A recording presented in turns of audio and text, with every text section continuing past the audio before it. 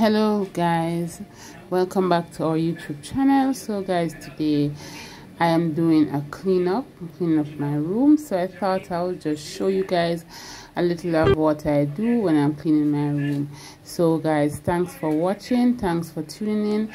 Please guys subscribe like our channel you know comment. And i just want to appreciate you all for coming out on just to watch our videos. God bless you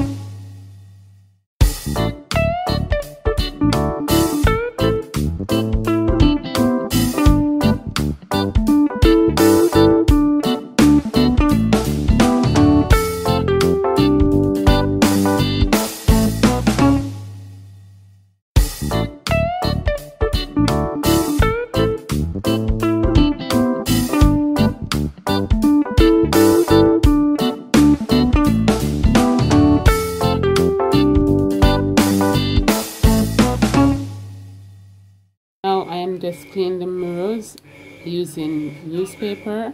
So what I did I wet one piece of the newspaper and then I leave one piece dry. So the wet piece I use first to wipe the mirror and then afterwards I use the dry piece to give it the shine